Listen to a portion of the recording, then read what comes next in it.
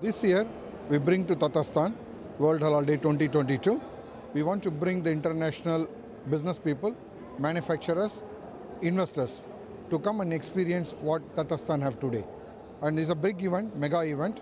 We conduct with a lot of expo, also B2B business people, and G2G, which is a few government has been interested to look for the halal product and halal services in Tatarstan.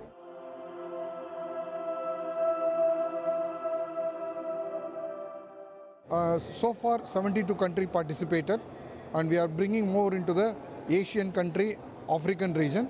These are the two region we are more focusing for Tatarstan products.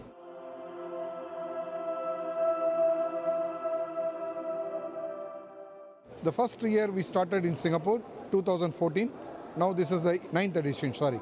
Ninth edition we are doing in Tatarstan and hopefully next year is going to be Singapore.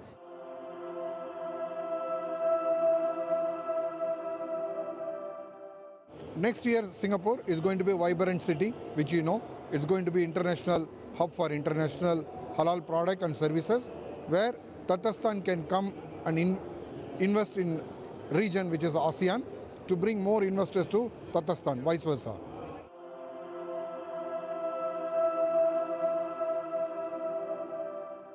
Yes, World Halal Day, it's a common platform where the Muslim country, non-Muslim country exhibit and get more benefit out of halal industry.